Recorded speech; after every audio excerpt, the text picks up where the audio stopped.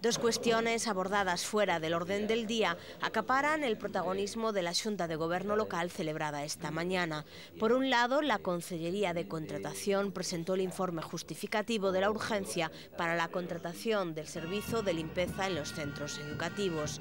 El procedimiento quedó desierto en la convocatoria anterior, por lo que se inicia ahora un procedimiento negociado sin publicidad y se amplía la contratación a dos años más otros dos prorrogables. También se incrementará el importe del contrato en un 10% con respecto al anterior. Será de 1.950.000 euros. Antes de que termine el año, podría estar en marcha la nueva concesión. eh, vais invitar a moitísimas empresas eh, creo que a lei establece que como mínimo teñen que invitarse a tres neste caso teño constancia e así é a orden que dá sempre esta alcaldía e é que se invite o máximo número de empresas independentemente que eso significa máis traballo pero tamén favorece esa transparencia e eh, desde logo as posibilidades a hora de que eh, participan e enriquezcan o propio proceso.